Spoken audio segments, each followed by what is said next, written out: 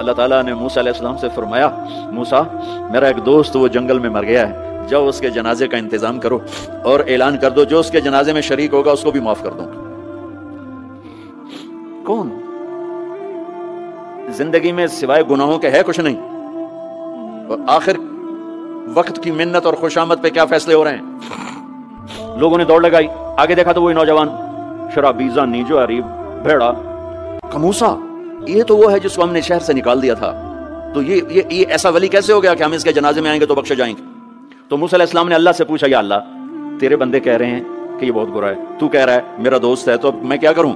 तो अल्लाह ताला ने फरमाया, मूसा, ये सच कह रहे हैं और मैं भी ठीक कह रहा हूँ। ये ऐसा ही था जैसे ये कह रहे हैं। लेकिन जब इस पर मौत आई, इसने दाएँ देखा, इसे कोई नज़र ना आया। इसने बाएँ देखा, इसे कोई नज़र ना आया। इसने फिर मेरी तरफ़ देखा तो मूसा, मेरी गैरत ने गवारा ना किया कि जिसको सब छोड़ जाएँ और वो बेबसी में मुझे पुकारे और मैं उसकी पुकार पे लब्बैक